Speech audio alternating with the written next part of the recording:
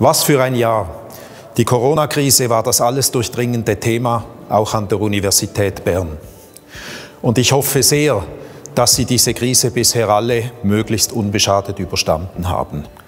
Eine Universität ist ein Ort der Begegnung und des Austauschs. Hier werden gemeinsam Ideen entwickelt, verworfen und verfeinert. Diese Form der Zusammenarbeit wurde Studierenden, Forschenden und Mitarbeitenden sichtlich erschwert.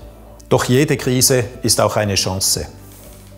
Corona hat unserer Digitalisierungsstrategie zusätzlichen Auftrieb verliehen. Der Umstieg auf den digitalen Lehrbetrieb gelang beispielsweise in nur drei Tagen.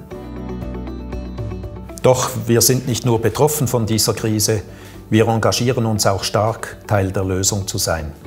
Als weltweit erster Universität gelang es unseren Forschenden, das Coronavirus zu rekonstruieren und gemeinsam mit internationalen Partnern einen schnellen Antikörpertest zu entwickeln.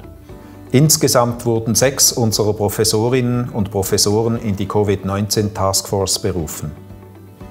Im Dezember konnten wir mit Unterstützung der Vinetum Stiftung ein neues multidisziplinäres Forschungszentrum für Infektionskrankheiten und Immunologie gründen. Damit wollen wir einen Beitrag leisten, um zukünftige Pandemien besser vorauszusehen und zu bewältigen. Die Entwicklung der Universität war auch im Pandemiejahr insgesamt positiv. Wir durften nicht nur mehr Studierende denn je bei uns begrüßen, sondern auch einen weiteren Anstieg bei den eingeworbenen Drittmitteln verzeichnen. Auch unsere Zusammenarbeit mit europäischen Partneruniversitäten ist weiterhin sehr eng und erfolgreich. Beispielsweise sucht das neue europäische Forschungsprojekt G-Versity unter der Leitung der Universität Bern nach praktikablen Methoden, wie Geschlechtervielfalt im Arbeitsleben erreicht werden kann. Das EU-Förderprogramm Horizon 2020 hat dafür 4,1 Millionen Euro gesprochen.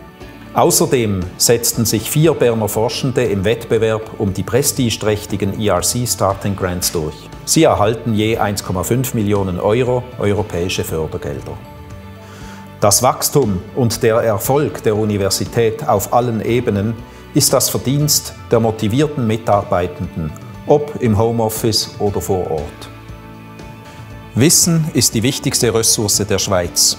Doch die Wettbewerbsfähigkeit unserer Universität ist in Frage gestellt. Wir benötigen dringend neue Laboratorien und mehr Raum für unsere Studierenden und Forschenden. Doch leider entspricht die Planung und Umsetzung unserer Infrastrukturprojekte nicht der Dynamik und der Geschwindigkeit, die wir benötigen. Es wäre deshalb durchaus ein Gedanken wert, der Universität mehr Autonomie im Baubereich zu gewähren.